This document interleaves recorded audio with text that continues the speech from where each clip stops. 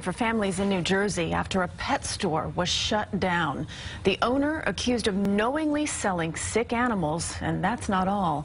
CBS 2 Jessica Schneider has more now from Middlesex County. On New Year's Day, Ina Shepard thought she was bringing nine-month-old mini schnauzer Dreidel home to start making years' worth of memories with her two kids. But less than 24 hours later, he was sick, running a 105-degree fever. 30 days later, Dreidel died of distemper, a viral illness with no known cure. My kids every day talk about our dog that we've only had for such a short period of time, but we, everyone got very attached to him. Shepard purchased the dog at this now shut down pet store, Just Pups, in East Brunswick, New Jersey.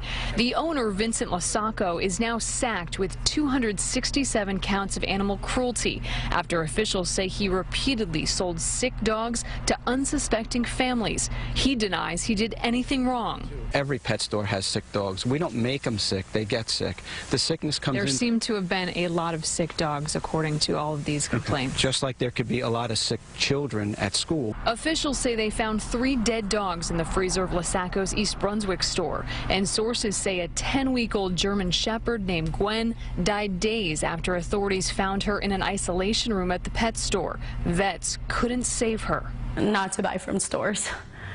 I live and learn. I've heard bad things, and I didn't know how bad it could be, and we got it really bad.